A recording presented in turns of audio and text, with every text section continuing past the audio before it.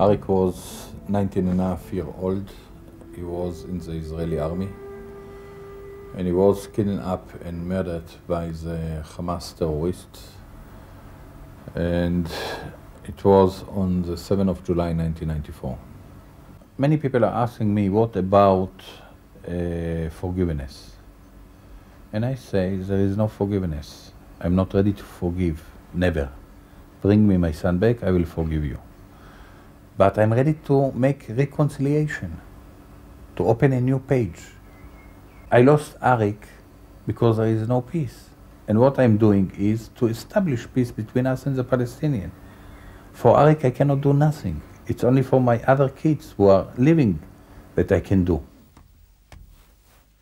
I've established a group of, uh, today it's over 190 bereaved Israelis families who have lost a member in the family, and uh, a group of over 140 Palestinian bereaved families. All of us have lost a kid because there is no peace, and we are not looking for revenge.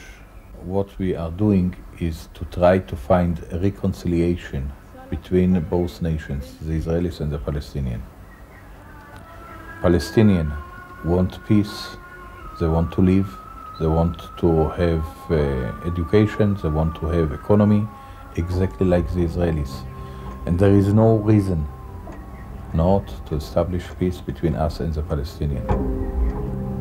It's not a question if the peace will come. The question is how much more blood and how much more dead will be in our street, in the Palestinian street, till we will achieve the peace. There is no question, the peace is going to be because we are living one inside the other. And there is no other way, only the peace way.